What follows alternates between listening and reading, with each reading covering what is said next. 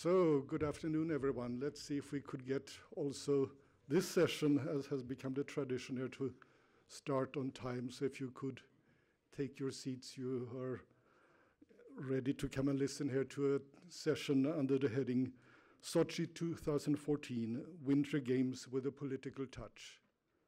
Well, I don't know if there is anyone in this room who has the illusions that we can have such a thing as Olympic Games without a political touch regardless of where they are being organized, in Sochi or elsewhere. We touched on Rio earlier today, for instance, and some of the issues that seem to be involved there. Well, it's a bit of this good news, bad news situation that I have to start with. The good news is that we have four speakers who I think you will find it very interesting to listen to here as they get their turn. The bad news is that we are missing a couple of the planned speakers. We had one more Russian representative, namely from Transparency International, and we had someone who would have been on the plane with me uh, from Washington with particular expertise in ethnic issues and the link to uh, the threats of terrorism, etc. Et but for last minute family emergencies, both of them are missing without any replacement. Now, that means that the good news, in a sense, is that the burden is on you in the audience here to make sure that we get the full spectrum of questions related to Sochi covered here when it gets time for you to step in with your questions. The uh, four speakers, of course, have their focus set and and I don't think can be expected to sort of, in that sense, make up for the two who are not coming. But in many ways, I think you would be able to do so. Now, the bad news apropos that, good news is that you first might have to listen to me for a few min more minutes because I agreed with Jens Sejer that without sort of any biases in terms of suggesting problems or even less solutions, that I would give just a quick overview of what are some of the issues that have come up uh, since, first of all, it was decided that back in 2007 that Sochi would be the host of next year's Olympics, and also little by little, as we have seen the preparations and is issues emerging.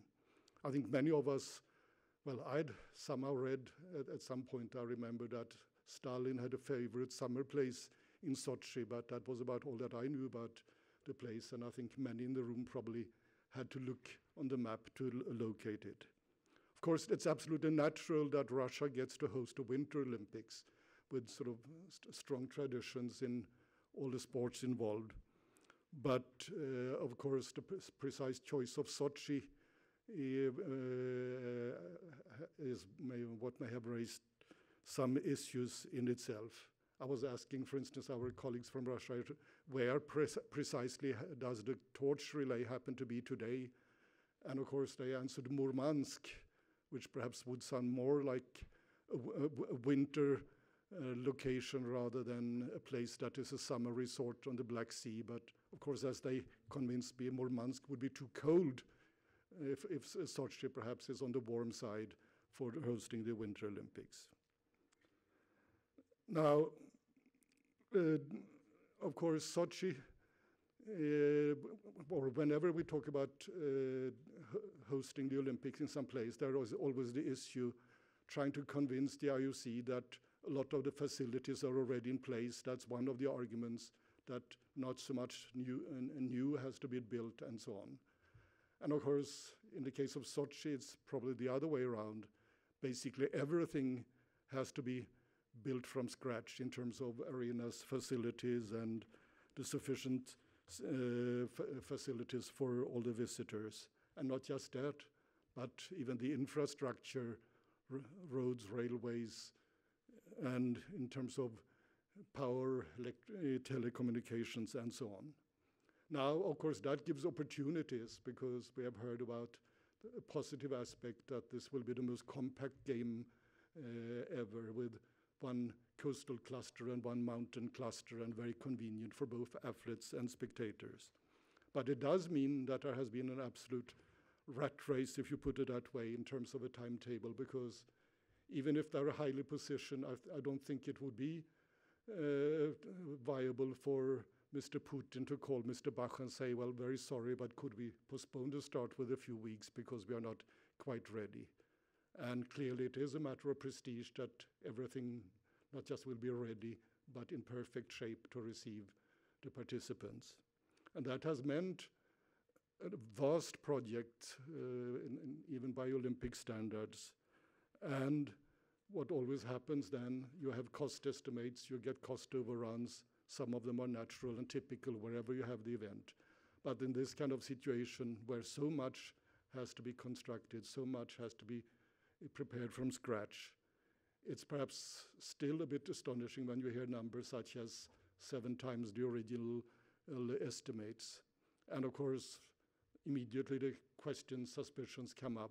Where has all that money gone? Has it really been because of more expensive construction, or has it gone into the pockets of politicians or, or uh, construction companies? A situation not unknown from many other uh, Olympic Games or major events. Also, the location in other ways. There are even specific things such as the neighbor relations with Georgia having led to talks about possible boycott by uh, uh, Georgia over the tensions in relations between the two countries. More historic aspects. Some people have said, well, gosh, don't they realize that uh, the Sochi area is the site of one of the worst genocides that we know of going back to the 1800s, where the Russian Empire uh, basically uh, sent the Circassian and, and, and who were the original residents in the area at the time packing. And in the process, uh, the, the, there are some rather nasty sto stories. So people question on those simple grounds. Now, it's also a location that compared with many others, we know these days we are not basically safe anywhere when it comes to terrorist threats. But people then say, well, how could it, uh, could it really be a smart move to put the Olympic Games so close to areas which are known to be the home ground of, of terrorist groups? And we got a reminder in an uh, incident in Volgograd quite recently. Of course, people say then, well, we surely trust the Russians to, to provide all the security that uh, is needed. But then comes, just as we heard apropos Rio earlier today, well, what's the other side of that coin? What kind of atmosphere will that bring in terms of, of all the resources, installations, uh, security that would be needed to provide any measure of guarantee? And of course, that leads also to related issues of freedom of press and supervision, sur surveillance that, uh, and also for that matter, for those who are actually participating or vi visiting the games. If you combine that with the, existing concerns about restrictions on the participants from IOC's end regarding their freedom to express themselves and use media during the event. Course, a special issue that was particularly highlighted during the uh, recent track and field world championship, R Russia's anti-gay laws, where of course we have seen then seen IOC in, shall we say, somewhat fumbling, stumbling ways grapple with this issue. Of course, saying that these laws are not in any way in conflict with the Olympic Charter, but perhaps ducking the issue if they have any other practical implications for those who will participate in the game or visit during the game. So, in other words, as the torch re uh, relay continues on its way here, the longest one ever, it a little bit has been under this cloud of sort of some doubts or worries and and issues where some things may be rumors, some may be more founded in reality, and where we hope that the speakers today may be able to shed light on some of those issues and other questions that you will have. So with that, I'll stop speaking and instead we'll get the first of our panel uh, to the podium. I think Andreas Selliaas doesn't need in Play the Game Circle much in an introduction.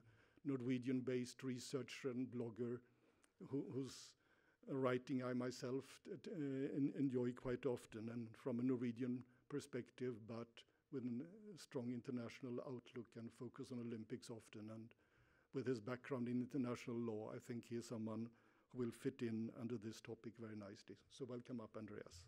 Okay. Thank you. Good afternoon. Uh, I think it's an understatement to call the Sochi Olympics uh, games with a political touch. Uh, I think uh, that uh, the Sochi Winter Olympics will be the most political winter games ever. Uh, in this talk, I will address some of the political controversies we may expect to take place before and during the Olympics in Sochi. And uh, what I will do is uh, to show you that since the introduction of the modern Olympic Games and until today, there has been a shift in Olympic protests from geopolitics to civil protests. However, the Games in Sochi may change this picture. I've changed the title a little bit from the program, but I hope you can bear with that. And I think there is a danger, a real danger, that geopolitics will be reintroduced to the Games in Sochi. Uh, I will also show you that there has been a turn in the strategy of human rights organizations and their use of the Olympics as an arena to shame the host countries. To illustrate this, uh, I'll share with you a case study I've conducted together with a colleague in Norway on Norwegian human rights organizations uh, and their campaign during the Beijing Olympics. This turn in strategy falls in line with my claim that geopolitics are reintroduced to the Olympics next year.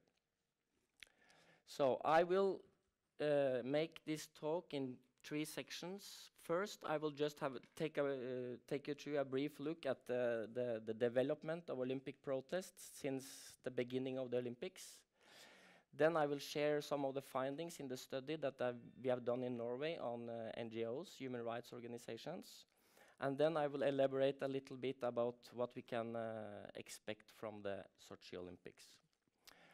First, here is a chart which shows show, uh, uh, the, the protests since 1896 until uh, Beijing Olympics. And we can see from this chart that summer games have been uh, more prone to protests than winter games. In, in the, to put it uh, uh, in different words, summer games have until now been more political than winter games. Here we see a table uh, where we have uh, where, where Cottrell and uh, Nelson have categorized types of political protests since the beginning of the Olympics until today. We see two, two developments. First, we have gone from a period of bans and boycotts to uh, civil demonstrations since the beginning and until now. Second, we see that it has been a great increase in civil uh, demonstrations uh, in the just the last 10, 15 years. So that is uh, the, the, the, the background for, for uh, discussing what I'm discussing now. So let's go over to the Norwegian case. In Norway in 2009, me and my colleague, we interviewed eight human rights organizations and asked them about their experience with the Beijing Olympic Games. We categorized the, the human rights organizations into three categories. One we call the generalists, which is Amnesty International, the Helsinki Committee, uh, which are organizations who uh, fight for human rights all over the world and all kinds of human rights. Second, we, we, we, we categorized uh, organizations uh, as um, regional organizations, organizations that only uh, cared about what was happening inside China or on the borders. And thirdly, we, we, we had one group we called niche organizations, like uh, the Norwegian Union of Journalists and the Norwegian PEN, who uh, only focuses on the, the role of the journalists and the role of the, the, the, the writers and so on. So we interviewed eight organizations. We did the same uh, with uh, five of the organizations in 2000, uh, this year, in fact, when we asked them four years after what were their experience, were they still of the same opinion as they, they had in, in, in 2009? And I can come back to that. What is very interesting here is many things, of course. First, we asked them if they wanted the Olympics to China. Six of the organizations, they wanted the, the, the Olympics to China because then they could put uh, pressure on China and they could uh, uh, get attention to all the human rights violations there.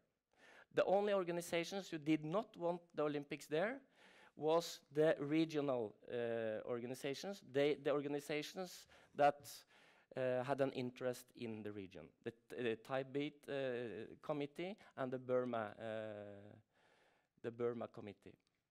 No, sorry, Network for Human Rights in China.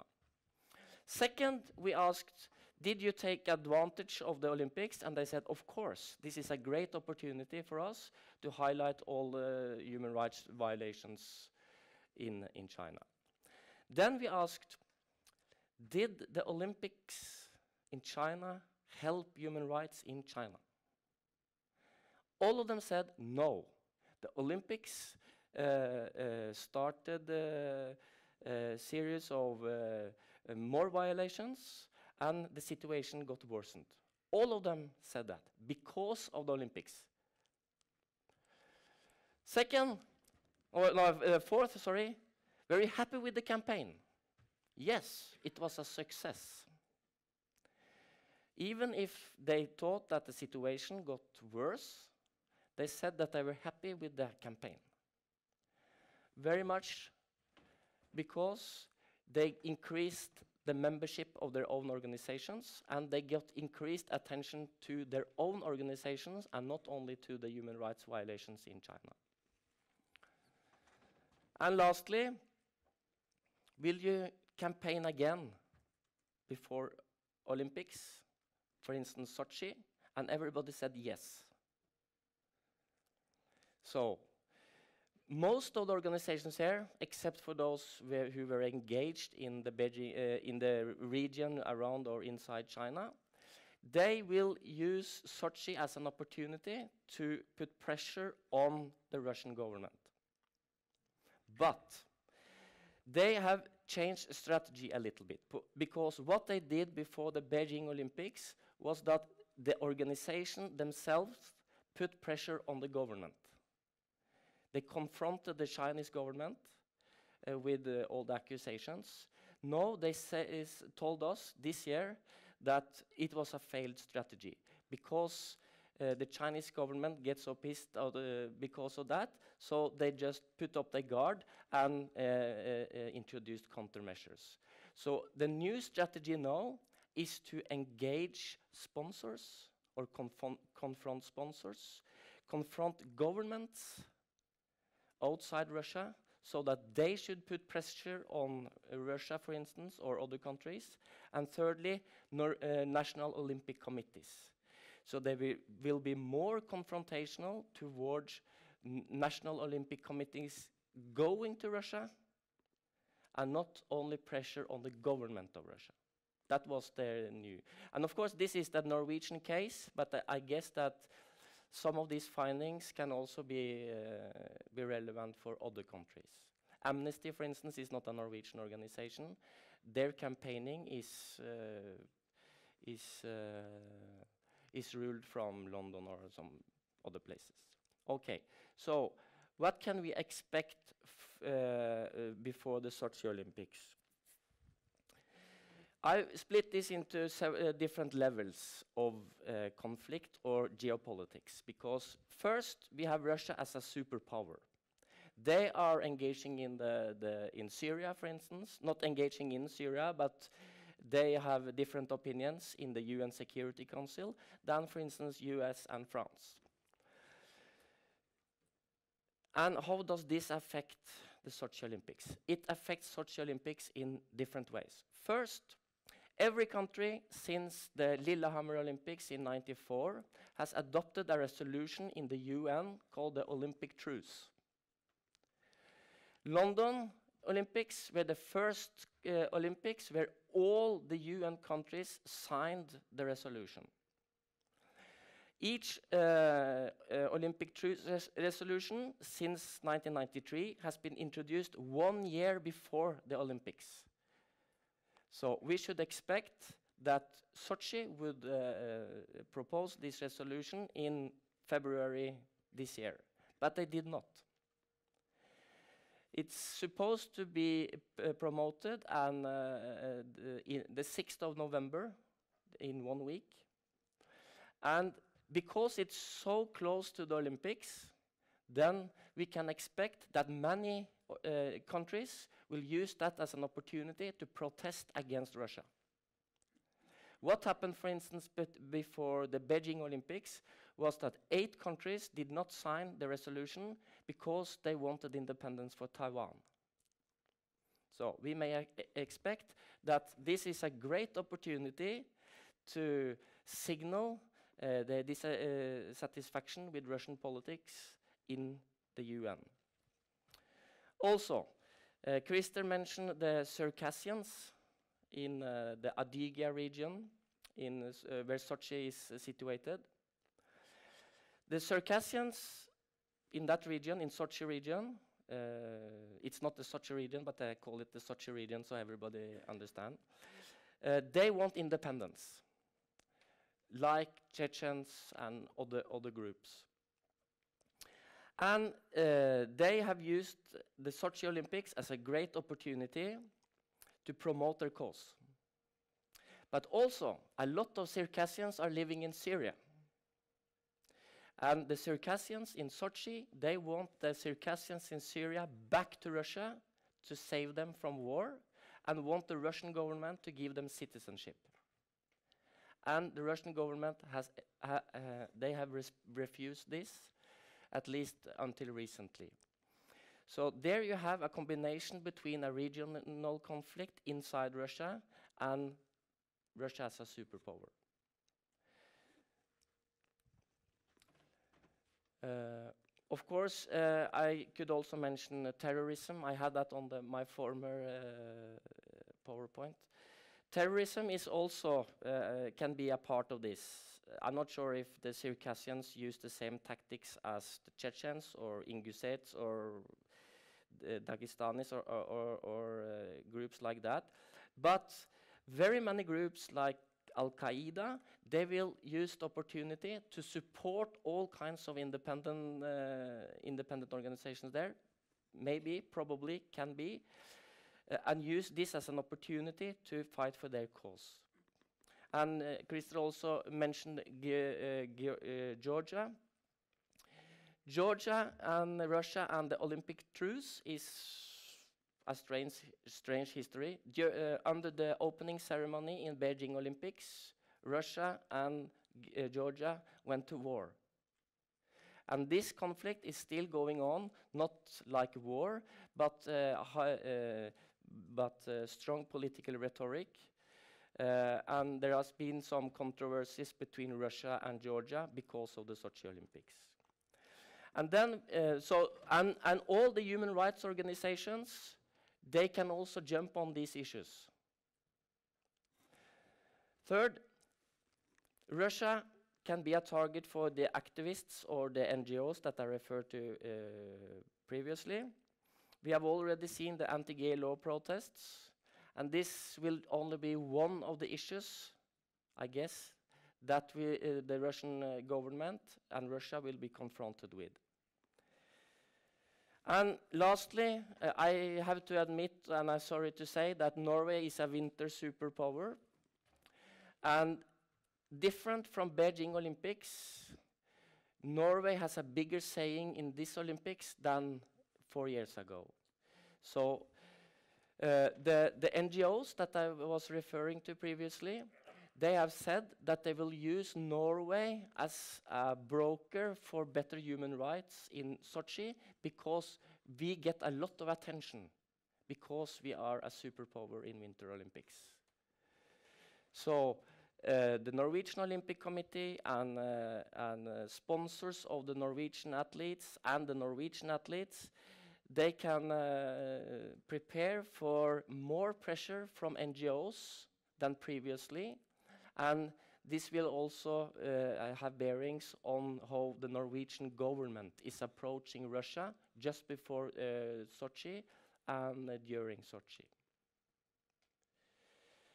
So what we see here is that uh, the, the activists that uh, used uh, Olympics as an arena uh, before, they have changed tactics. So now the activism will uh, look more like uh, former times when geopolitics and boycotts and bans were, were uh, more prevalent. I'm getting the, the yellow card here from the handball referee, so I say Thank you for your attention, and I can, I'm happy to answer questions in the panel discussion. Thank you.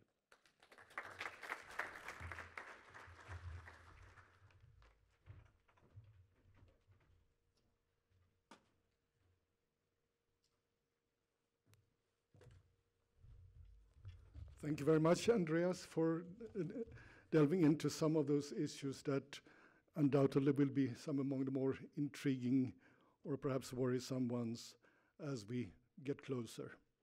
Our next speaker is Alexey Konov. He is the head of the anti-corruption division of the Russia's G20 Expert Council. I think most of you in the room are aware that not so many months ago, there was a G20 summit in St. Petersburg. And in the uh, preparations for that summit, one of the many topics that was singled out for special focus for proposals and deci uh, decision making during the summit was precisely anti corruption, and it was handled by a particular working group. Of course, anti corruption tends to emanate more from areas such as economics and trade and business. But what's interesting here is that explicitly was included also sports and cultural events and in fact, uh, uh, originating from these efforts is a proposal that came up in connection with the summit for what has been referred to as a global alliance for integrity in sports. So, with uh, those explanations, I welcome Mr. Konov to the podium.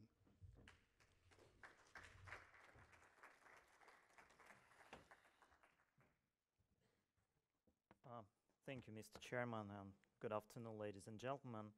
Uh, it's a great pleasure for me to speak here. I believe it's actually the first time when uh, G20 people take part in this conference. So thank you for inviting. Uh, I'd like to make a certain clarification from the very beginning. I'm not a government official from Russia. I'm just an expert working for the Russian government, and I'm working not on Sochi 2014, but on the Russian G20 presidency agenda.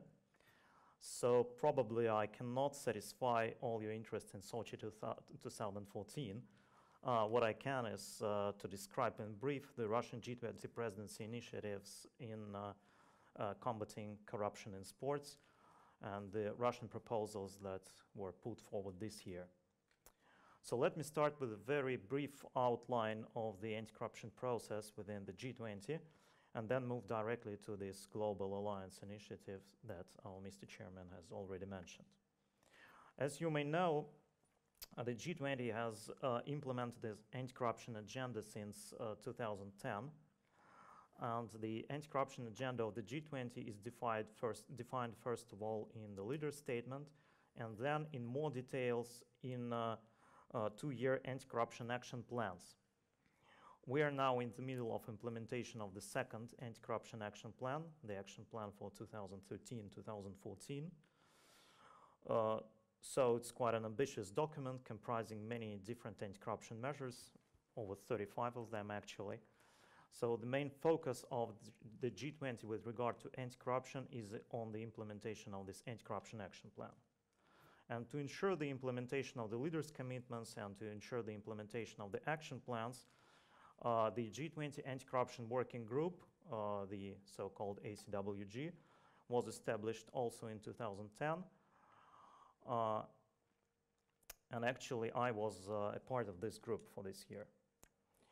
In addition to this action plan, to the G20 anti-corruption action plan, each presidency in the G20 usually puts forward a number of some new proposals to move the uh, anti-corruption agenda forward, and Russia was no exception.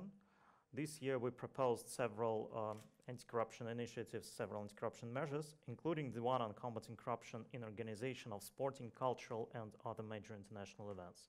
So it was not uh, precisely and only about uh, events, but of course sport events play the most important role here. Uh, there were many reasons for putting forward this initiative, some of them quite general, some of them uh, more specific. Uh, the general reason was that this area has some uh, specific features, specific characteristics that increase its vulner vulnerability to corruption, even compared to some other areas also prone to corruption. Uh, we have already mentioned uh, a matter of prestige, and you all know that being selected to hold a major international event is a matter of a country prestige. So to pressure uh, the pressure to overcome other bidders creates an environment potentially vulnerable and potentially favorable to corruption, and we all understand that. And of course, commitments that any country holding a sporting event, a major sporting event, is taking upon itself, they should be fulfilled no matter how effectively the government funds are being spent. So if the government, for example, the Russian government knows that any infrastructure site has not been built because the money allocated to the projects was stolen, uh, we have uh, no other choice but to approve additional funds and to get the work done. So we need to continue. We cannot stop this work because of corruption, and it, of course, creates more opportunities for further corruption. And of course, we all understand that in preparation and organization of a major sporting event and major public event, uh, corruption can take place at different stages and in ma very many different forms, from the very beginning, from the bidding process and the interaction with international organizations, to corruption in procurement of infrastructure and equipment, to undue licensing and sponsorship practices, to match fixing, and so on and so forth. So to fight corruption in sports and in other major in, uh, international events, a comprehensive system should be developed, a very complex system in fact, that includes multifold and very different remedies. Uh, and that makes uh, combating corruption in sports uh, very difficult. This is actually bad news. There is also a good one, as usual, that the international character of major events gives uh, multilateral international community additional opp opportunities to influence the way uh, these events are awarded and organized. Uh, it could be done by different uh, with different measures by streamlining bidding procedures, for example, by making uh, international organization and sport international organization more transparent, by setting up relevant procurement, licensing, and sponsorship standards, and so on and so forth. So being in the spotlight of international attention, uh, we can say it, it, marks out the organization of sport events compared to certain other corruption-prone areas, which are primarily dealt with mostly at domestic level. So it's more kind of international issue. And this is one of the reasons why Russia proposed this topic to be considered by the G20. Uh, there were also some other reasons, more specific ones, uh, to launch this topic within the G20 actually. One of the most important of them was that uh, most of the major international, not most, okay, many of the major international sporting events in recent years have been organized in uh, G20 countries. If we take, for example, the period from 2000 till uh, 2016, uh, we can see that four out of five Summer Olympics were held or will be held in the G20 countries, as well as five out of five Winter Olympics and five out of six FIFA World Cups. So uh, it's quite natural for the G20 to play a leading role in combating corruption in organization of major events, because actually the G20 countries are, in fact, the organizers of these events. And of course, Russia had its own reasons for pushing this topic forward. Uh, the Russia will host the Winter Olympics, the Sochi Winter Olympics in less than 100 days. But we will also host the, uh, for example, the World Hockey Championship in 2016 and the FIFA World Cup in 2018. So, and, and plenty of other uh, important uh, events, uh, including sporting events and cultural events. So uh, we need to understand the best practices in anti-corruption in this field and try to do something about corruption within this area. Um, speaking about the initiatives in fighting corruption in sports, we all know that lots of important initiatives in this field, uh, in this field are now being implemented by international organizations, by business, by civil society, and so on and so forth. Uh, for example, uh, the UNODC and the UNESCO pay a lot of attention to uh, corruption in sports issue. Um, uh, I think you know that, but uh, actually the UNODC has just recently issued the paper, the United Nations Convention Against Corruption, a strategy for safeguarding against corruption in major public events. It's quite a comprehensive uh, and rather big paper, which is quite important. Uh, and uh, actually, UNODC has some other uh, important projects in this field. UNODC, as I mentioned, also is active in this area. There is a very important UN Global Compact initiative where, where many private companies are involved. Of course, there are, there are lots of projects by uh, non-governmental organizations such as Transparency International SportAccord and so on and so forth. So there are actually lots of important initiatives in fighting corruption in sports. At national level, uh, increasing attention is also being paid to sports integrity issues. A number of countries, including Russia, including other G20 members, have recently adopted important legislation to promote transparency and accountability in organizing major events. Uh, for example, Australia, who will held, uh, hold the next G20 presidency, has just recently adopted new legislation on combating corruption in sports. I think you know about it. And uh, even established the Sport Integrity Intelligence Unit. So there are lots of in initiatives in this field, uh, and many of them are quite innovative and I believe practically useful. But there is one serious drawback uh, that we can see, that, and it's that those initiative are, initiatives are quite often somewhat isolated and disintegrated.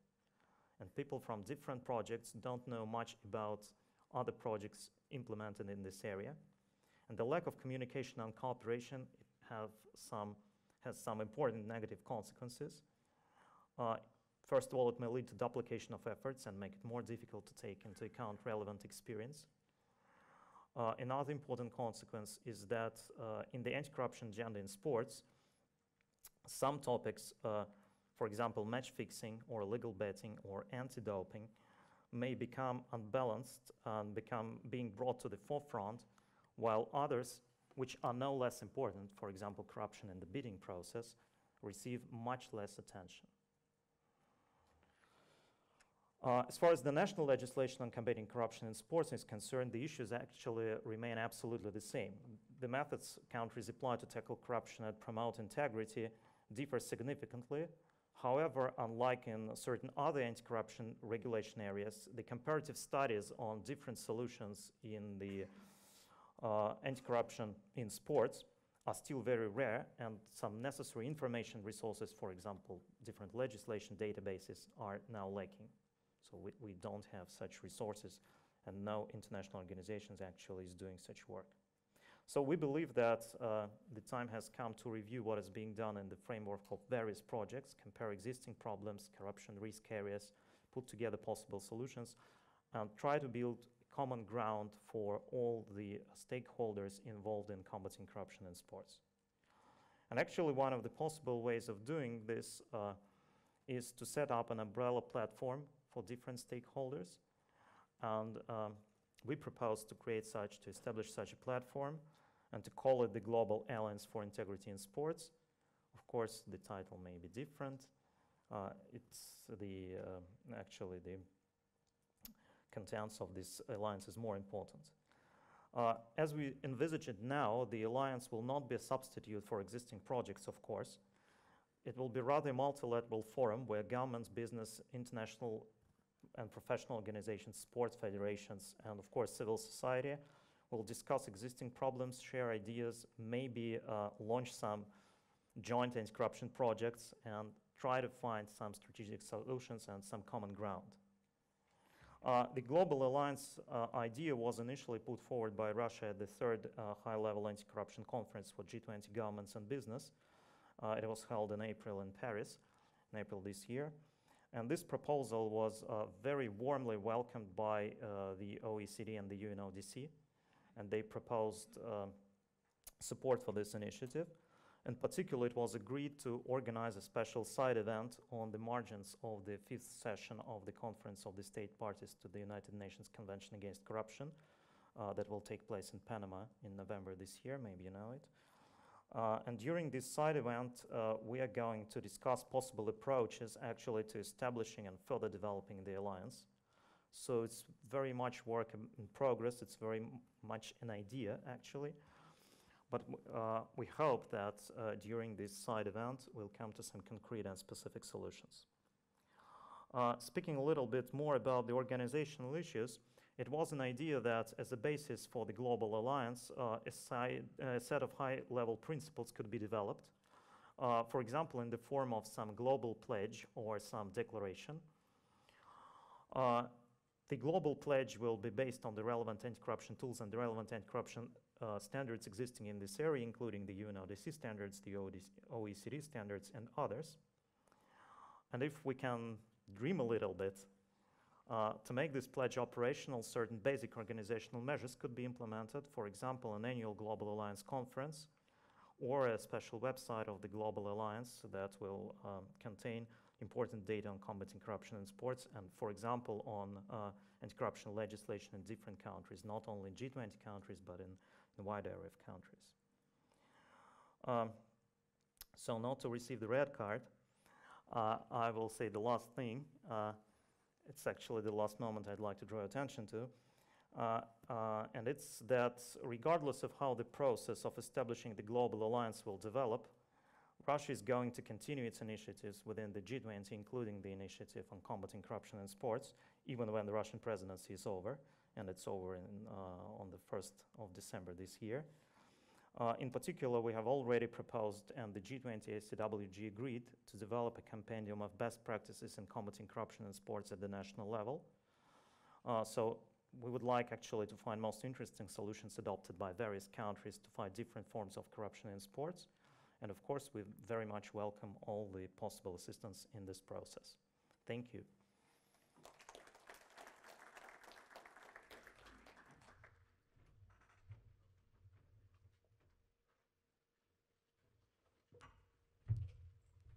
Thank you very much indeed for this presentation. And as Mr. Konov was indicating from the outset, of course, he uh, focused on one very specific aspect uh, that is of higher relevance as we now focus on what's happening in the preparations for the Sochi Olympics.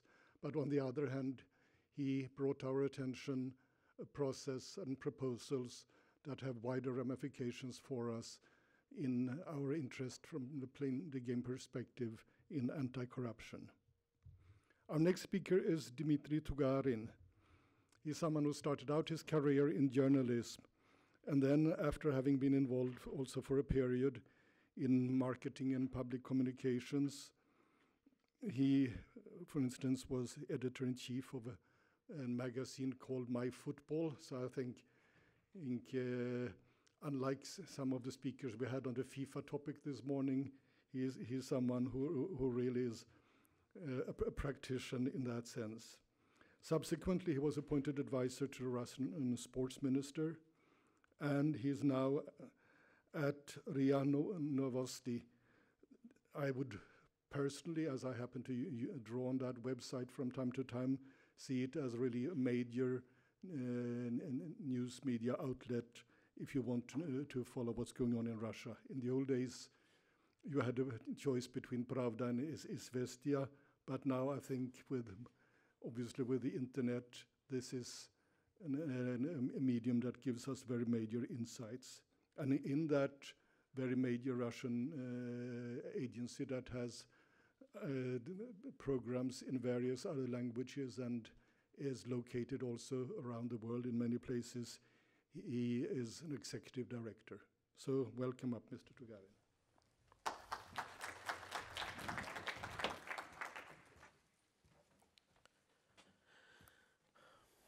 Thank you, Mr. Chairman. First, uh, let me entertain you a little bit. It's a short video about our agency.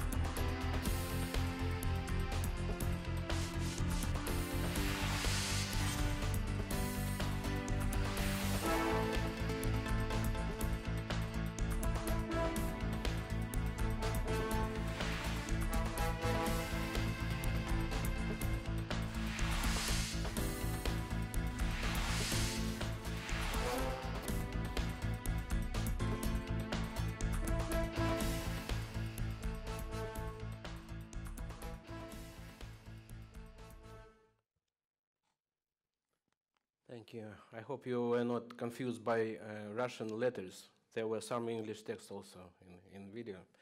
But maybe some of you, inspired by the Olympic Games in Sochi, will, will learn Russian.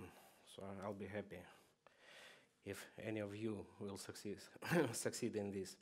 Uh, uh, let me be positive.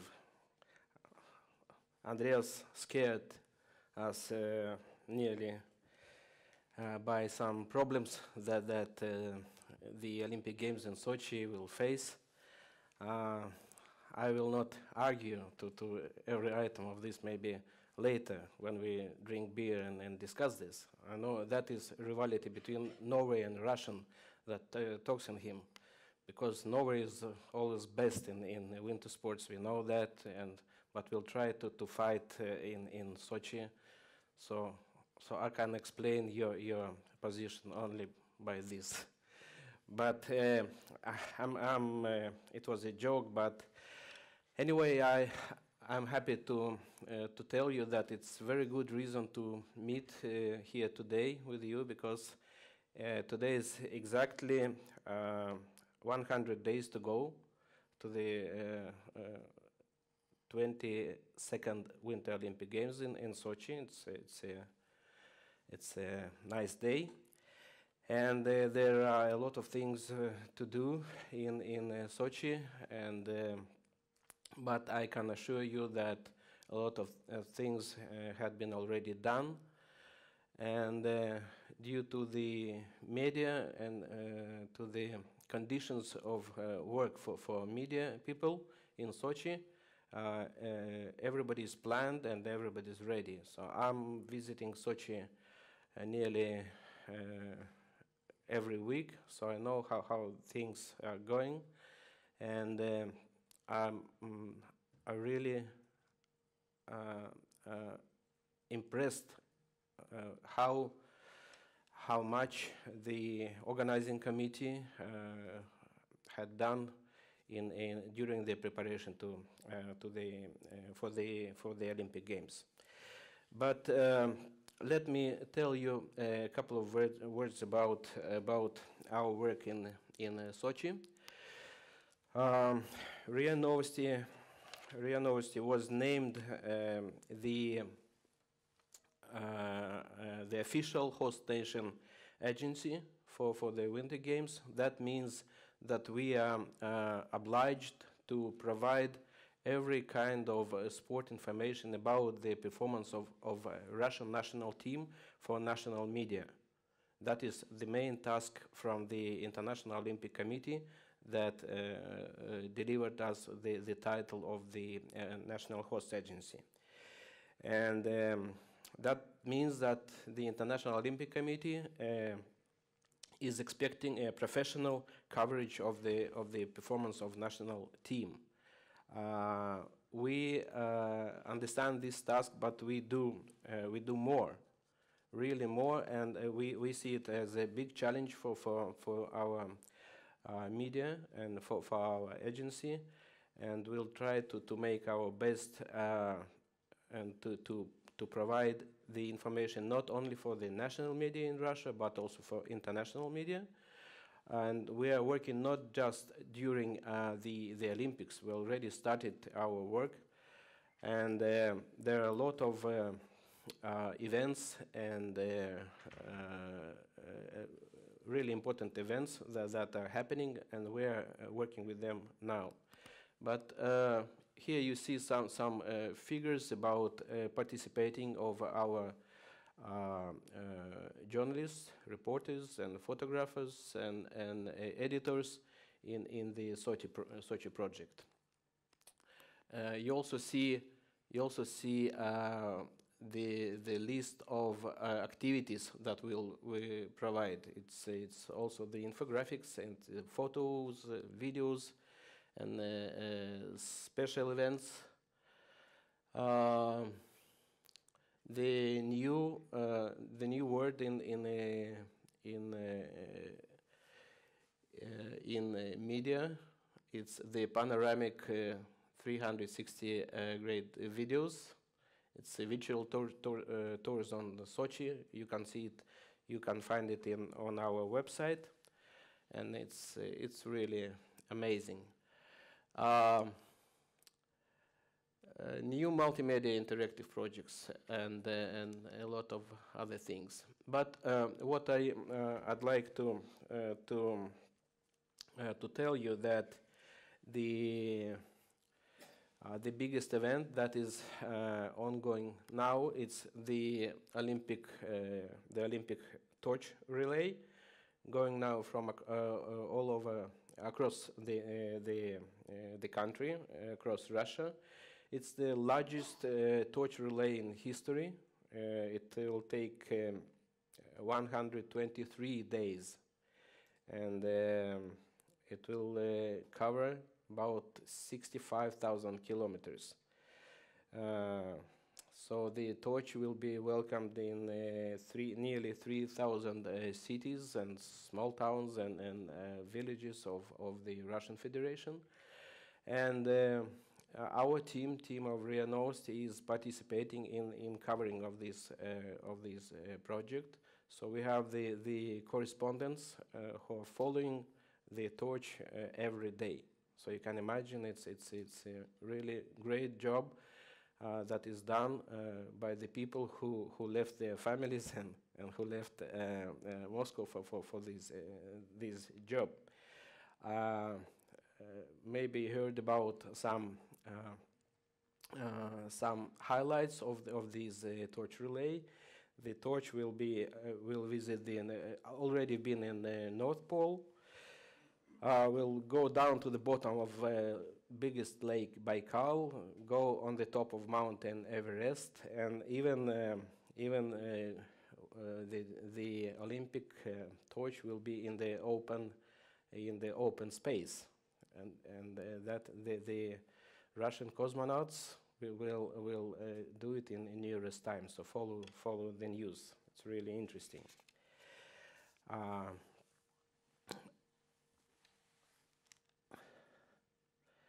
Uh, we were working actively with the social networks. So we have the the uh, more than one million um permanent visitors in uh, Facebook. So it's uh, also uh, it also shows that we are working with the young audience and the, the audience of RIA Novosti uh, getting younger and younger, and uh, a lot of uh, and a big big uh, part of uh, of our audience are very interested in the in the Olympic information and in everything that that concerns uh, Sochi. Um, well, we have a very special project, a very special project uh, that uh, that uh, uh, concerns that that made fulfill fulfill the idea of gathering all the Russian sport journalists from all over the country. So we gathered them already three times uh, to discuss uh, all issues of the forthcoming games, every uh, possible uh, problems and security uh, matters, and the the professional uh, issues, everything, and uh, that makes uh, Russian media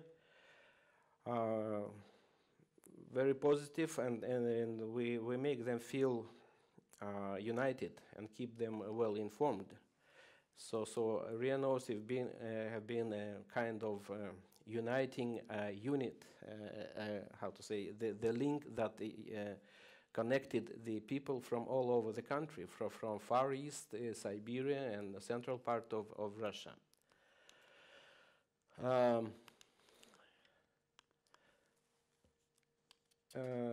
we also took the initiative and and and discussed the uh, very interesting and important item with the National Olympic Committee and with the International Olympic Committee that uh, concerns the extra quote for, for Russian uh, regional journalists, for, for the journalists who, who are working in, in, uh, uh, in the media long outside of the European part of, of, uh, uh, of Russia. who had no chance to, to, to get a professional accreditation in the, uh, uh, for, for the Olympic Games. So we uh, uh, succeeded to, to pursue the National Olympic Committee, and, and with this help, we got the extra quote for, for Russian regional jo- sport journalists.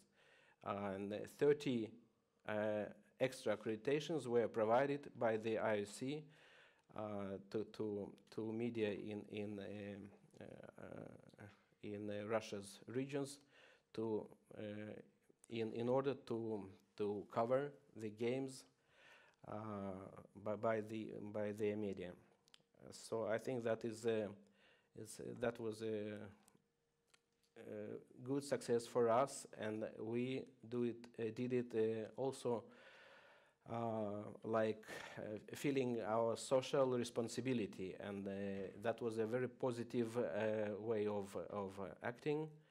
Uh, that uh, and that was a, a gesture of uh, solidarity for, for the for the media in, in, in our country.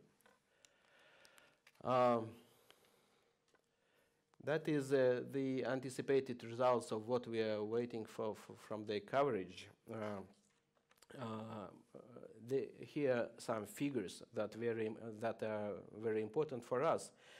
But uh, last uh, but not least, we are following the slogan uh, "positively proud." That is uh, what we we're trying to to reach in our activity. Uh, we are trying to remind um, the great audience that our country uh, has the remarkable Olympic uh, history and traditions. We have more than uh, 600 Olympic uh, champions living in, in our country. Um, uh, and um, uh, whe- when we uh, studied the, the, uh, the job of our colleagues in, in London uh, last year uh, during the, the Olympic Games, uh, we were uh, pleased by, by their approach, working with this uh, uh, slogan to be positive and to be proud of, of, of the nation. Uh, they, they managed to um, uh, they managed to, to, to create an atmosphere, a very positive atmosphere, uh, not not just for the guests of, of, uh, of the Olympic Games, but also for, for uh, their own nation. So, and when the, the fourth, fifth, uh, or, or sixth uh, place uh, in, in the competition uh, was taken as a, as a success, if, if, a, if the athlete really uh, uh, showed a, uh, a, a will to, to, to win and to, to, to make the, the country proud. That was a really impressive job of, of uh, British media and, and uh, first of all uh, BBC and, and the Press Association uh, that was a host um, agency for, for, for, the, for the games. And that I, I think is, that was a good example, but we will follow and maybe will be in, uh, uh, maybe will be better in some, in some way. We'll see. And uh, now I see the, the yellow card, and uh, let me finish with that, and I'll be ready to, to answer your questions later in the panel. Thank you very much.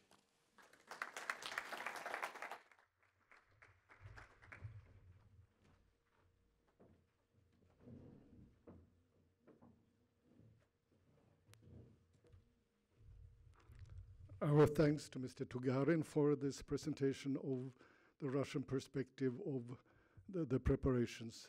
Of course, apropos the torch relay, perhaps this is the moment where I should file a protest. You know, my home team, Washington Capitals, they lost the first game of the season because Alexander Ovechkin, he was uh, supposedly more needed to start out a torch relay in, uh, in, in Greece. Anyway, okay, perhaps it comes out even over the season. So our next speaker, the final uh, one of the panel, is Jean-Paul Marthoz from Belgium, starting a, a, long distinguished uh, career as a journalist in his country, was the uh, responsible for the editorial pages of uh, prominent newspaper Le Soir, but has gradually moved, although he still does his uh, columns, has gradually moved more into teaching in journalists and also to writing books.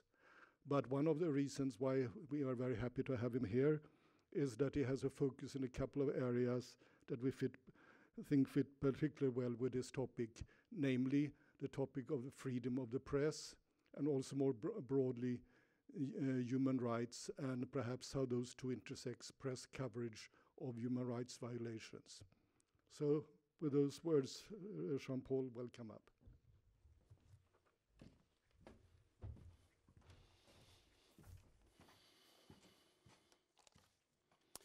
Good afternoon. Just for full disclosure, I'm a senior advisor for the Committee to Protect Journalists, and I'm the vice chair of the uh, Europe and Central Asia Division of Human Rights Watch, besides being still a journalist.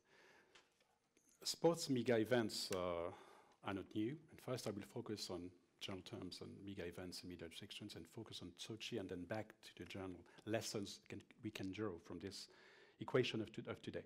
Sports mega events are not new. Mega media restrictions are not new either.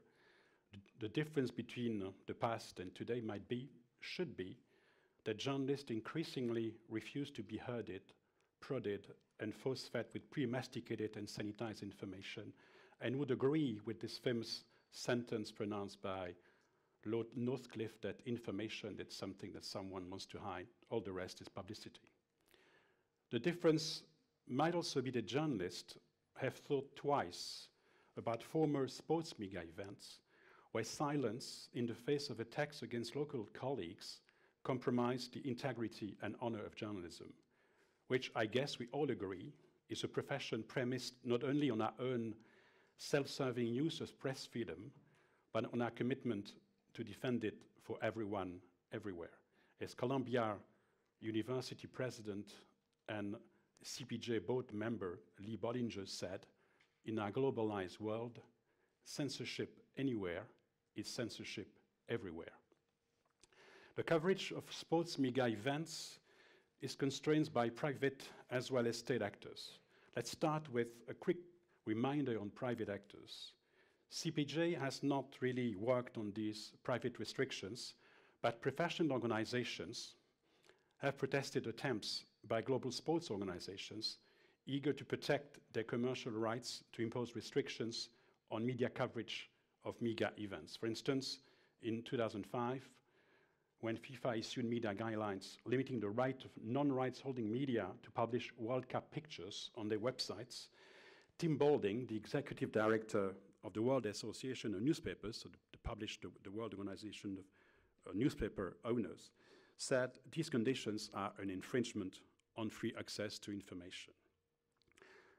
Thus, a coalition of news media that has been set up, the News Media Coalition, precisely to counter the increasing privatization of the public space orchestrated by mega events organizers. This coalition, which includes news media and professional groups, strive to fight the specific threat to legitimate editorial press and publishing freedoms from the controls placed on news gathering and news distribution practices by the organizers of major events of public interest in sports, of course, but also in the worlds of show business, fashion, concerts, etc.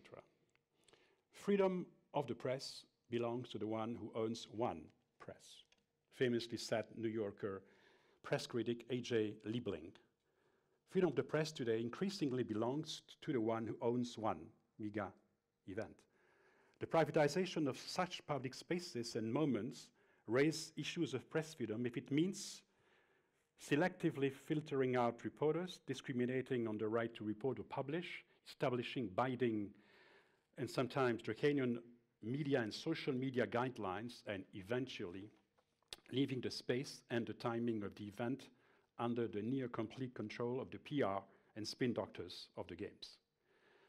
State censors are not out of work either. The privatization of censorship has not substituted good old censorship, state censorship. This well established tradition is all the more topical since, as Freedom House a New York-based human, right, human rights organization, recently stated, dictators continue to score in international sporting events. Many of recent sports mega events have taken place in dubious countries. The African Cup of Nations in Equatorial Guinea, the Formula One race Grand Prix in Bahrain, and many of the next ones will, be, will also be hosted by rights abusive regimes from the 2015 European Games in Azerbaijan to the 2022 World Cup in Qatar. This fact inevitably leads us back on the well-traveled debate on how to report, under what conditions, with what kinds of challenges, in countries that do not happily flash the Universal Declaration of Human Rights on the stadium's scoreboards. Of course, there is the issue of security. All governments, uh, authoritarian or democratic, are committed to assure the success and the safety of the games. They, they dedicate a lot of resources to provide security to the players and the spectators, and no one in the press will object to these measures that are legitimately aimed at forestalling terrorist attacks or acts of hooliganism. Governments, however, tend to maximize the security preparation at the price often of more restrictions on citizens' freedoms and civil rights than are necessary for effective prevention. Human rights groups and press freedom groups have bitterly learned that they can't expect host governments to suddenly be graced by the Olympic spirit and turn the Games into a magical powder that will improve their human rights and press freedom record. The spotlight effect that was mentioned this morning has not been working very well. Arch Puddington, someone, uh, a researcher for Freedom House, even says that sports events are being used by government to silence critics instead of improving uh, the, the, fate of, of human rights or, or, press freedom. And as it was already mentioned in the, in the previous presentation by Andreas, that many human rights organizations are convinced that the Olympic Games, in the case of Beijing, for instance, in fact, improving human rights did, did in fact worsen the situation of human rights. But at least could these events offer a temporary moment and a gated space for some respite from censorship? Both private and state censors convert host cities into artificial, uh, artificial enclaves, into cities of exception, as written last year by the Brazilian Coalition of Local Communities for a People's World Cup and Olympics, and I quote them, decrees, provisional measures, and pieces of legislation are passed, as well as a tangled collection of low-level legislation and ordinances that create a system of institutionalized exception. End of quote. This exceptionalism, I might even say this exemptionalism, would of course be more palatable if host nations would lift restrictions on freedoms at least in the host city and during the period of the Games. It did not happen in China. During the Beijing Olympics, for instance, more than 60 incidents of reporting interference were reported, including several cases where foreign journalists were physically harassed. It didn't happen in Bahrain either. Is it going to happen in Sochi? During will, will journalists be allowed or even able to report freely and roam around in order to carry out specific assignments that respond to their agenda and not necessary to the PR plan of the IOC, the sponsors, and the Russian government? The IOC and the Russian authorities have promised that press freedom will be upheld and journalists will be free to report, that the event will take place, to quote President Putin, in a normal, businesslike, and festive manner. We will not prejudge, but allow me a few dissonant notes. Allow me to raise some concerns. First of all, in August uh, 19, in a decree, the Russian authorities have made it clear that they will cordon off Sochi to prevent terrorist attacks rather violence, a scenario, by the way, heightened by real threats issued by radical Islamist groups. But these measures will impose restrictions and prohibitions on freedom of assembly of movement that might also be meant to exclude legitimate dissent at the risk of also excluding mainstream reporting or uh, on legitimate stories. The question also of uh, sur uh, su surveillance is also another, another uh, issue during the game, the second point that I want to raise. During the game, the press corps will be under high surveillance, not only, of course, by the National Security Agency, as Edward, Edward Snowden would tell us, but also by the FSB. According to Andrei Sa uh, Soldatov and Irina Borogan, two investigative journalists, two Russian investigative journalists specialized in the Russian intelligence services, the FSB has made sure that it, it can peep on anyone and listen to everyone in Sochi. The allegedly very efficient SORM surveillance technology with deep packet inspection technology has been fitted to all the systems handling the traffic from and into Sochi. And then there is the question of the more general condition of press freedom in Russia. Russia doesn't stand in a very high position when it comes to all the indexes of press freedom groups. Uh, it's number 148 on the Reporters Without Borders uh, index of world press freedom. It's 176 on the index of press freedom Freedom House.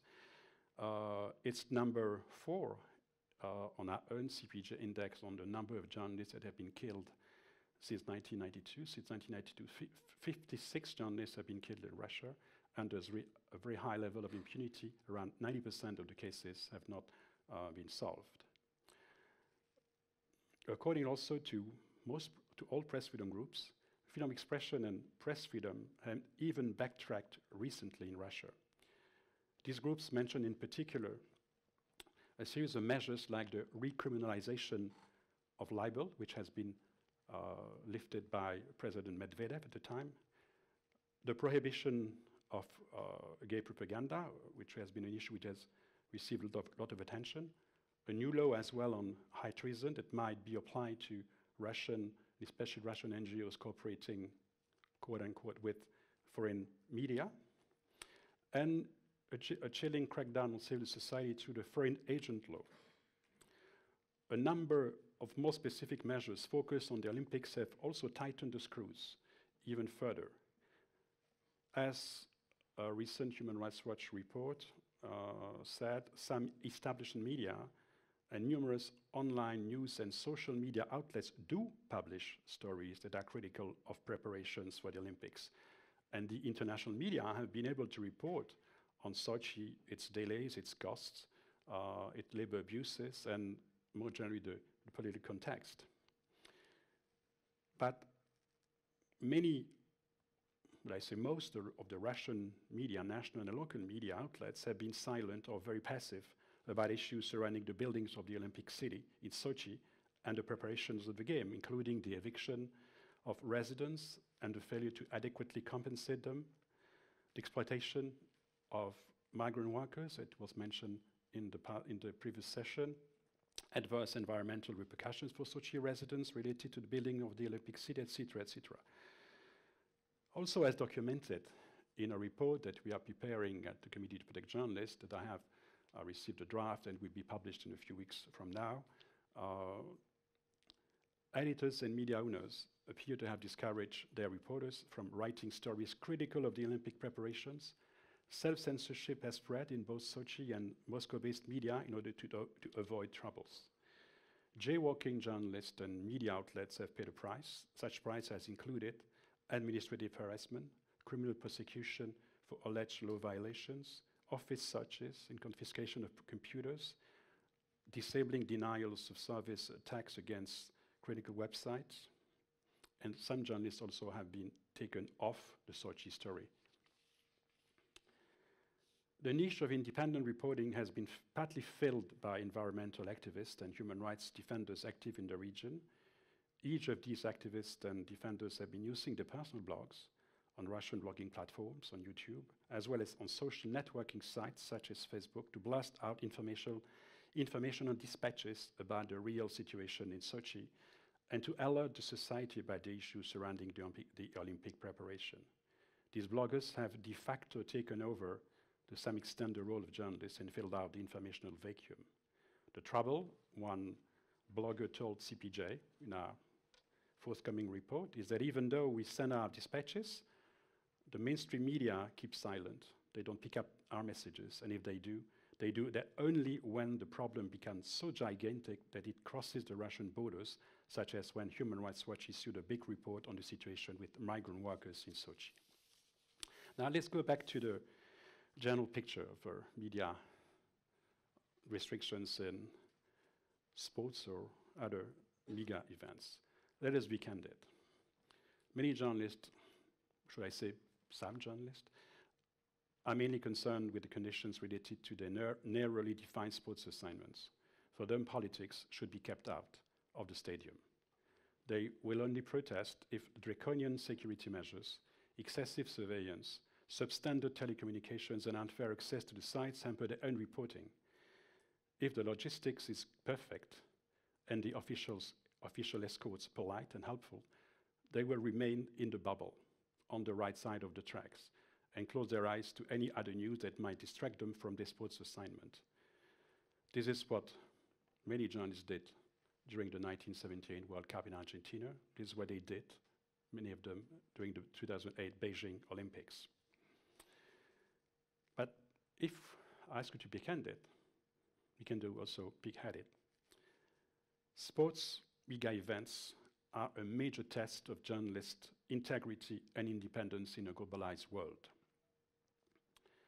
Everyone has a choice as a journalist, but international journalists have a role and, and have an impact. And the local civil society, as well as the local media, who are under pressure, rely on the international media to take the lead and break the stories that are shackled to cover. Everyone, as a journalist, has a choice. I just will end my speech by quoting a famous US dissident journalist, uh, Izzy Stone, who said, All governments lie, and disaster waits for governments whose officials smoke the same hashish that they give out to their own people. Sports mega events are definitely political events, and journalism will be ill served if reporters would smoke the same hash that the officials give out.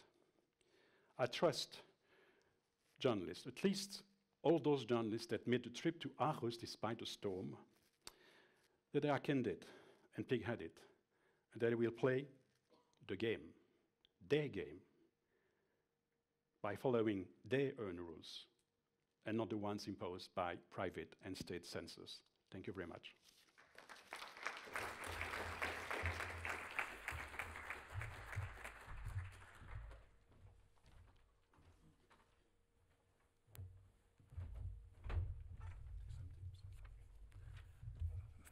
Thank you very much indeed, Jean-Paul Marthoz, not just for covering one of the many important areas of concern when we look ahead to the Sochi Olympics, but also given that we are not sitting here just passively or in a theoretical way listening to these issues. Many of you here in the room are journalists who, of course, got a valuable and and uh, relevant reminder from uh, uh, our speaker that indeed it now is a matter also then for those of you who are involved in reporting from Sochi to follow through and not just sit here and worry or speculate before the event, but actually follow up on what will happen during the event. With that, I'm leaving the floor open for questions from the audience to our panel members, and for that matter, if they among themselves have any uh, comments or dialogue uh, after their presentations. But in the first instance, would want to see who. Deborah in the back here. Can we get a microphone over?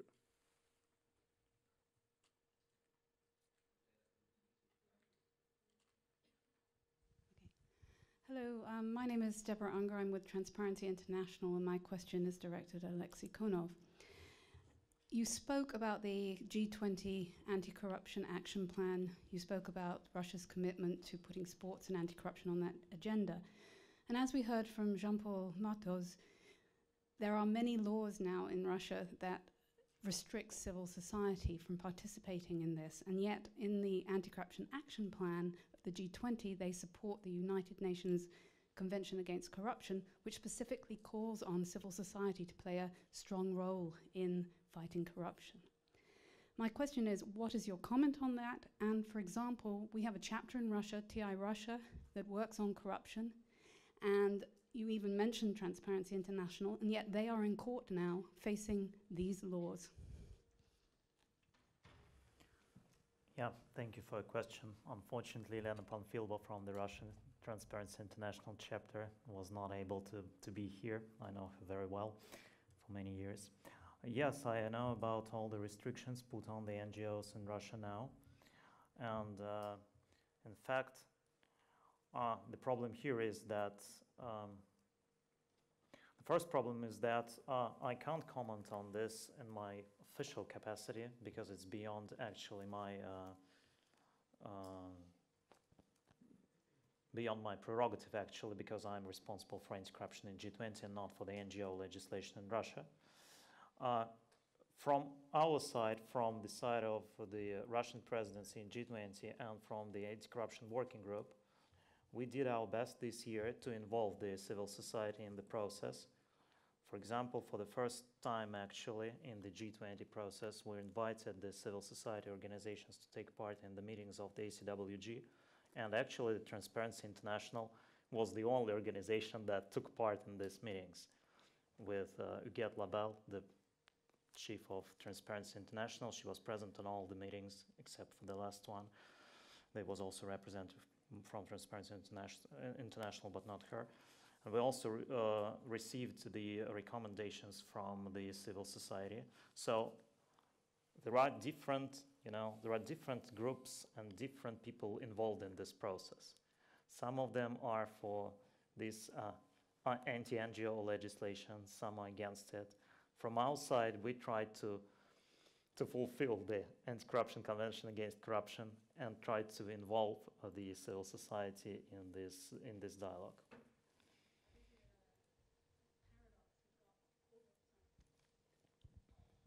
You invite organizations to sit at your table and then you prosecute them the next week in the courts. That doesn't sound very um, No, logical. We do not prosecute anyone. Okay. There I- are I- hearings. I, I, there are mentioned that, yeah, different groups, different people, uh, different, you know, ideas and different intentions. People who were in the G20 this year, they do not prosecute the Russian NGOs. So th- it is a kind of paradox, and there is now maybe kind of, I don't know how to say, the general line, yeah, with regard to the NGOs. Because, for example, the uh, representatives of Transparency International, uh, of the Russian chapter of Transparency International, they are not only involved in the G20 process, for example, but they were at least involved, for example, in the President's Council on Anti-Corruption. There is a, an anti-corruption council in Russia, and they were involved in it. And some of the representatives of the NGOs who are also in court now, they were also involved in this President's Council. So it's a kind of paradox. Yes, they are in the President's Council, but they are at the same time in court. This is life.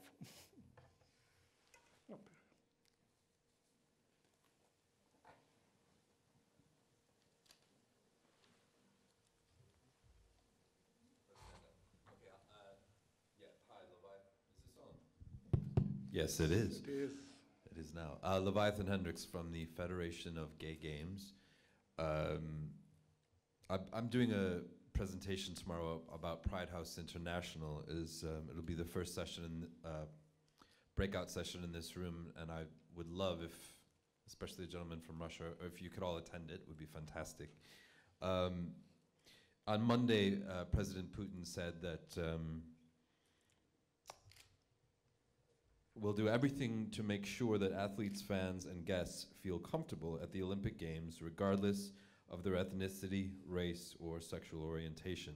I would like to underline that, end quote. Um, I, I just wonder from, from an outsider who's not as familiar with the political workings of Russia or, or, or Putin's influence, if you could comment on how much we can take him at face value that that that will actually be the experience, how much control he has over, um, and if if you feel that um, that um, LGBT athletes or fans might be at risk uh, of violence from um, Russian citizens. Thank you. And and I love the idea of a global alliance for integrity in sports. Um, I, I would submit that corrupt there are a lot of things to anti-corruption in sport and and um, and uh, anti anti-gay propaganda might be one of them. I love if you could actually pronounce it. Global Alliance for Int- Integrity in Sports. I'm going to call it Gay Is. I- I think that's great. Thank you. So who would want to take this on again, recognizing that you're not speaking officially on behalf of any ministry or government agency, but nevertheless, Alexey or Dmitry, would you venture uh, a response? Uh, look, I'm, I'm not press secretary of Mr. Putin. I, I guess uh, Mr. Peskov, who is the press secretary, will be very hurted if he- gets to know that I'm, I'm uh, making his job. But uh, anyway, I, um, I saw uh, the, um, uh, the program on Danish TV today in the morning about the, this uh, event in, in Sochi, where Mr. Putin um, uh, met uh, the, the new president of IOC, and he commented, uh, and you quoted right. Uh, but uh, I'd like to uh, to separate the, the, matter. Uh, uh, we are talking about uh, about the Olympic Games and the conditions of, of the athletes and the guests of the games when they come to to uh, to perform there and to be to be the spectators and to be the guests it's uh, one thing, and and uh, I'm absolutely sure that the conditions for everybody will be equal for for uh, uh, all of the guests of the Olympic Games. The other thing is uh, concerning the the prom- promotion, the propaganda, as we used to say, propaganda of the uh, some. Uh, uh, so to say, non-traditional for Russia activities, uh, especially among the, the uh, young people, the teenagers and the kids. It's uh, what's exactly the, the law concerning uh, about. And uh, if we separate these two, two, two matters, so it will be easy to, to, to, uh, to understand that if people are not, uh, uh, not uh, making propaganda among the, the, the, the kids in Sochi, I, I don't think it will be something li- like that. So it's, it's no, no reason to, to discuss the, the, these, uh, uh, these uh, issues so, so uh, and to pay so much attention to it. I, I'm absolutely sure that, that it, if, if it will not be, if, if the problem will not be uh, raised in, in uh, uh, how to say, in, in, um, in, in this strong way, it's, we have no, we, I see no reason to, to, to, uh, to use it in, in, in connection to, to Sochi Games. So I, I don't think that that is uh, the in the in the game, Olympic Games in, in Sochi. Uh, I've heard your your uh, presentation yesterday, and so uh, I understand that um, it's it's a very special uh, very special activity and a very special case for, for your organization, and it's difficult to, f- to find a, a common language with the IOC and SportAccord and so on and so on. So you understand when the so many uh, big players on the field, it's uh, sometimes it's it's difficult to, to find a common language. Uh, but as I said, I I guess Mr. Putin said clearly enough about the the this matter. I don't think it will be any any problems for anybody.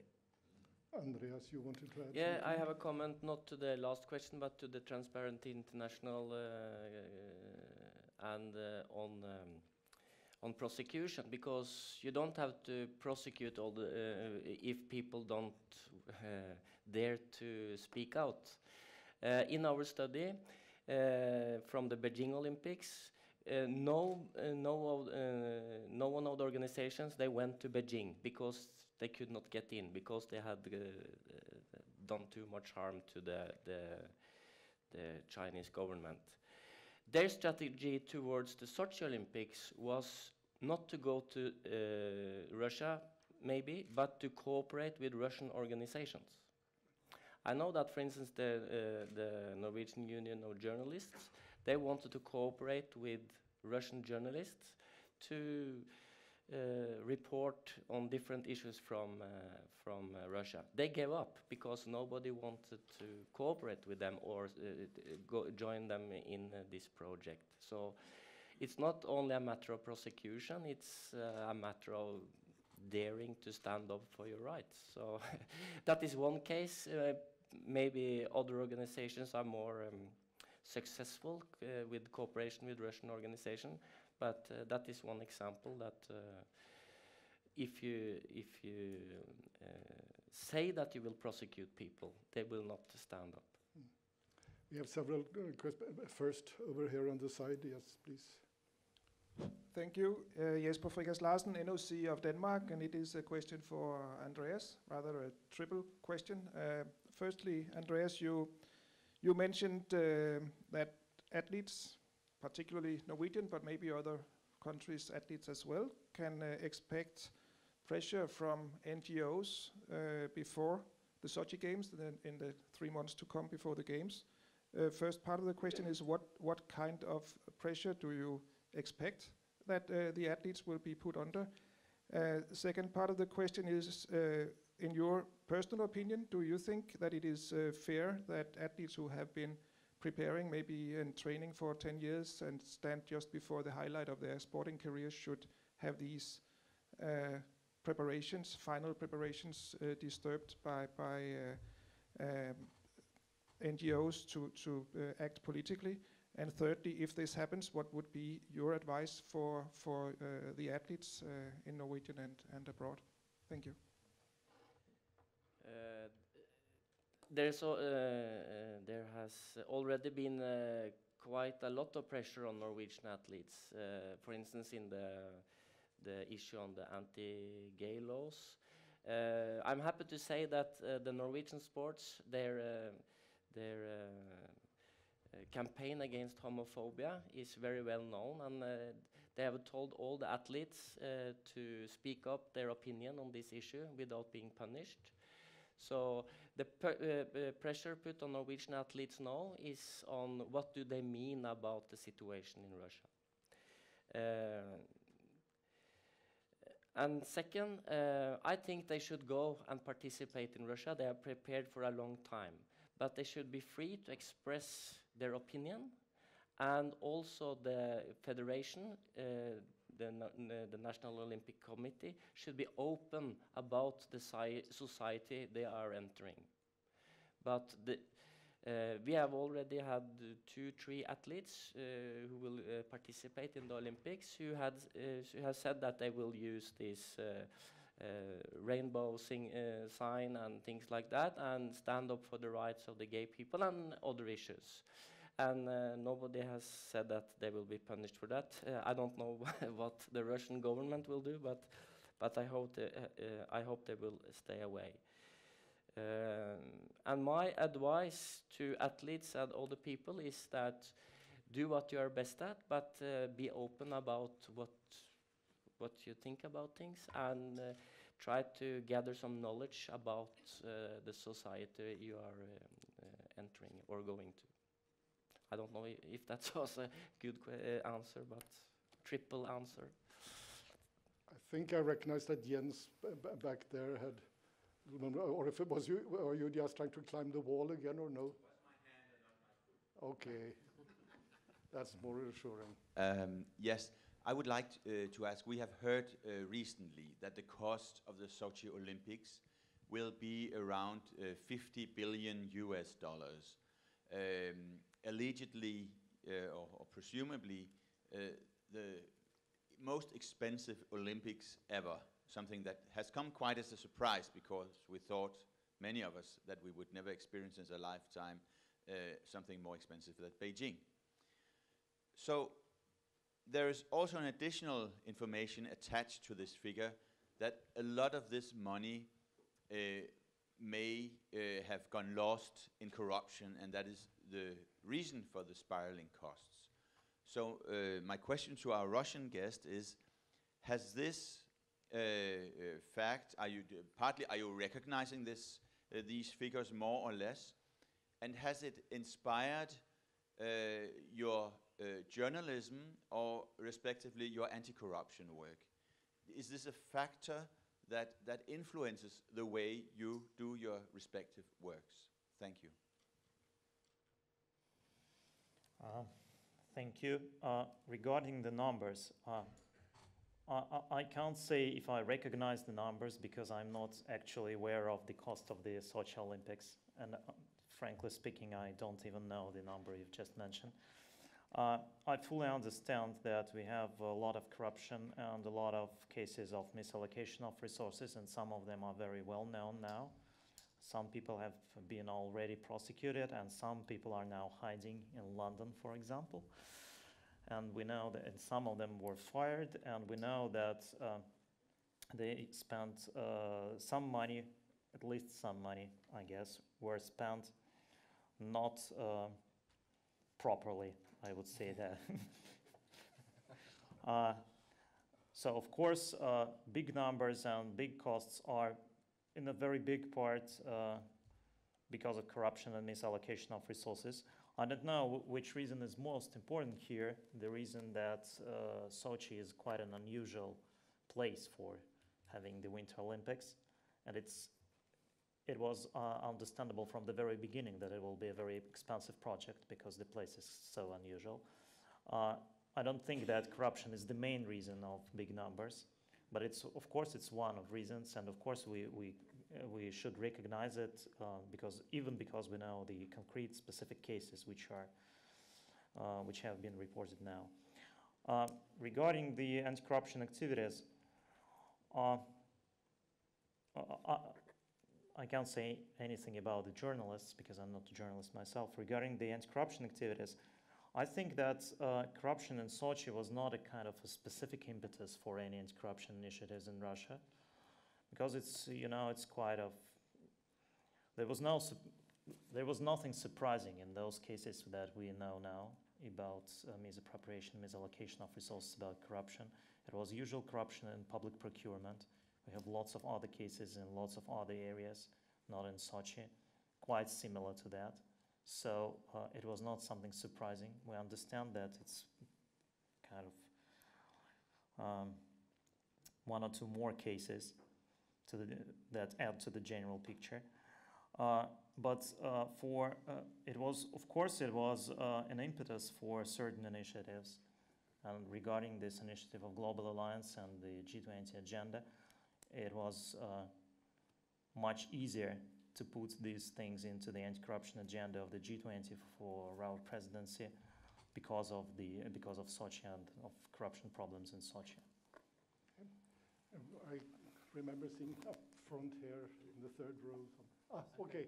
In the meantime, while you're coming up with the microphone, if we can get an added, added uh, commentary on that question. I can uh, point out two, two important things. I've been um, uh, part of the, the Sochi bid in the, in the very beginning.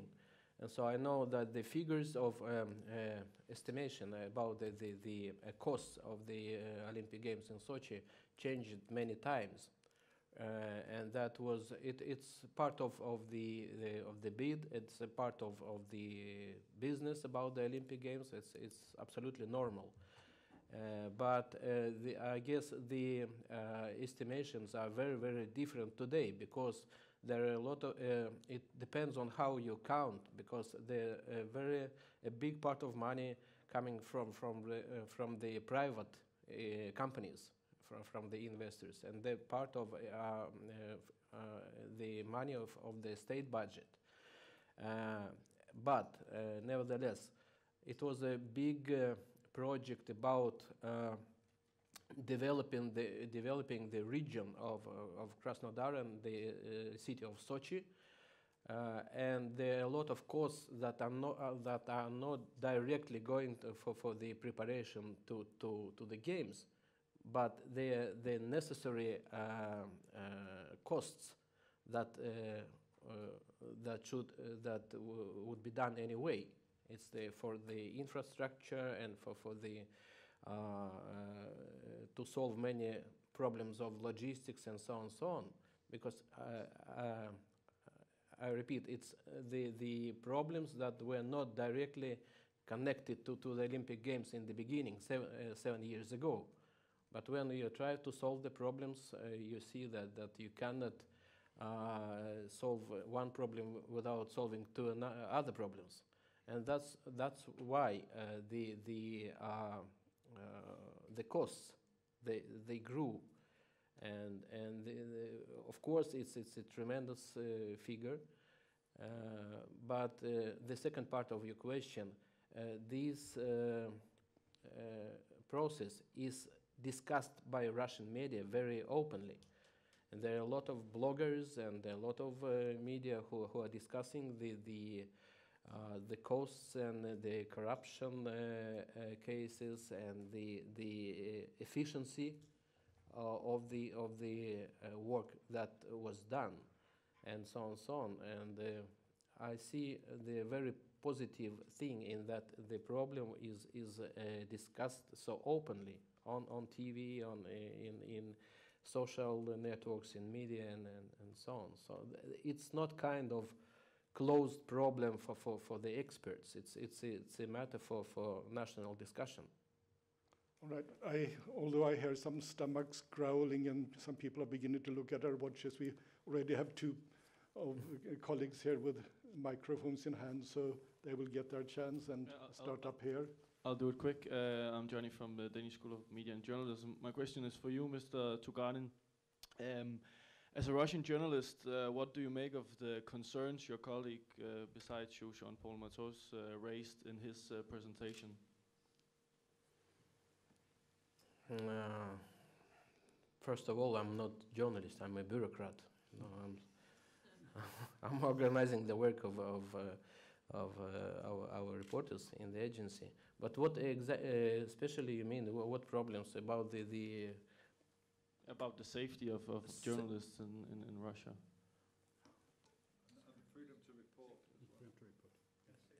Yeah, I understand. But safety in, in common or just in, in the in the in? Just, just a g- general comment on, on the presentation made by uh, Mr. Marthoz. So you make uh, you want me to, to make a, a comment on, on the whole uh, report of, of my colleague. Yeah, what, what, what's your opinion on that? Do you think journalists will be free to wander around and uh, do their job? So they will be free in in uh, uh, due to all the rules that International Olympic Committee uh, uh, uh, uh, see, and and there, there are many rules and and there are many restrictions both for for uh, national and international media.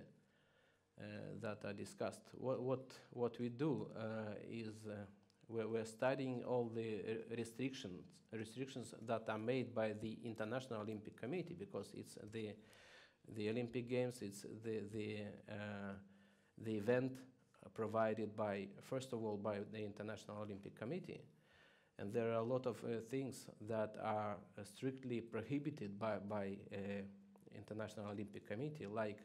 Uh, you, you maybe know sim- simple things like if you you a reporter with the E accreditation, you cannot take uh, video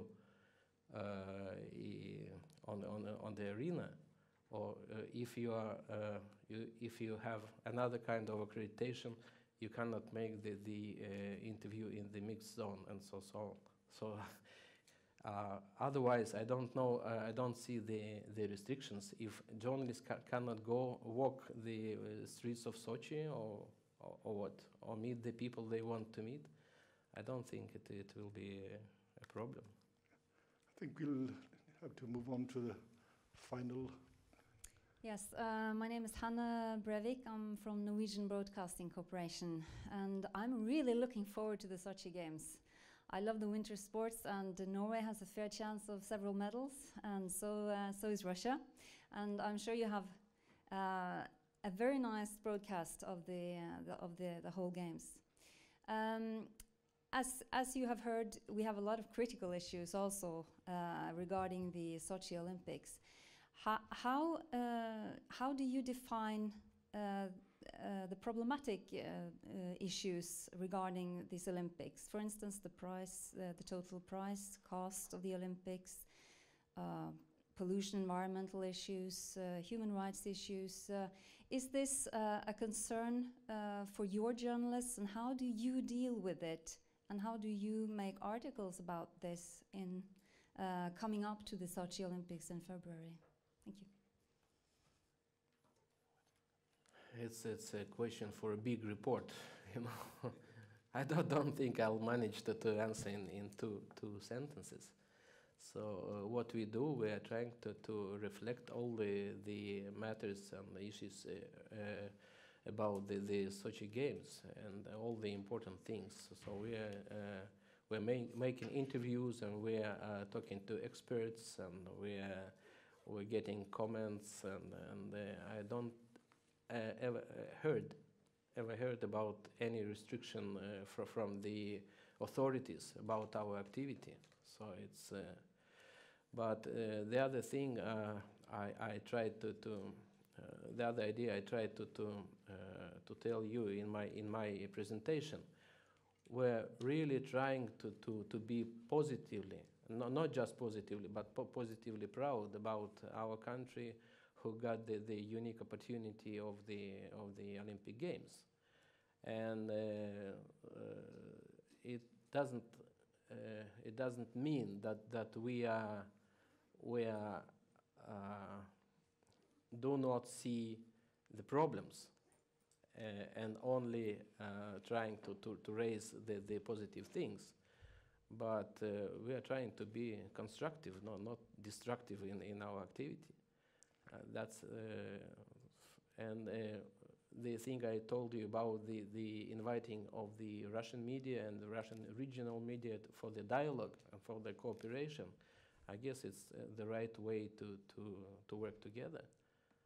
So uh, the, the only thing that I will say, say in conclusion, uh, we don't feel, we uh, uh, journalists and our colleagues, we don't feel the restrictions, the, the censorship or something like that in, in, in uh, delivering the, the information to, to the audience. So perhaps uh, if uh, I think we have to sort of draw the line there in terms of additional questions, but uh, pu pulling together a couple of comments on this theme, it seems that a lot have to do with if, if you are a critical or uh, investigating journalist, do you, do you find sources to, who are willing to talk with you and provide you with information? And what risks uh, do you feel you are taking if you are or asking those questions and then publishing the, uh, the, the answer? So that may be more the inhibition than any formal restrictions that, that, that are in place. But with that, I think we need to draw the line. Unfortunately, we are uh, well over time, and I'd like to thank our panel members to some extent, as I think all of you have recognized that our two Russian and panel members come here in their particular capacities and of course obviously have to be somewhat cautious about speaking beyond their mandate, but I think they have made an, a good effort to be helpful in response to uh, our questions anyway. And I ask that we give all of them a nice round of applause and thank them for their contributions here today.